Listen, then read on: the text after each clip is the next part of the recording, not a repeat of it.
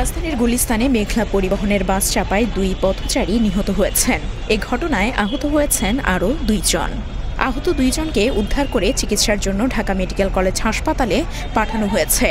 শনিবার আট জানুয়ারি সকাল সাড়ে নয়টার দিকে গুলিস্তান টোল প্লাজার সামনে এ দুর্ঘটনা ঘটে। ট্রাফিক পুলিশের দাবি, নিহত দুইজনই পথচারী। তবে প্রাথমিকভাবে নিহত ও আহতদের নাম পরিচয় জানাতে পারেনি পুলিশ। ট্রাফিক মতিঝিল বিভাগের মতিঝিল এলাকার দায়িত্বপ্রাপ্ত ট্রাফিক ইন্সপেক্টর মশিউর রহমান ঢাকা পোস্টকে বলেন, সকাল সাড়ে নয়টার দিকে গুলিস্তান ফ্লাইওভারের আগে টোল প্লাজার সামনে এ দুর্ঘটনা ঘটে।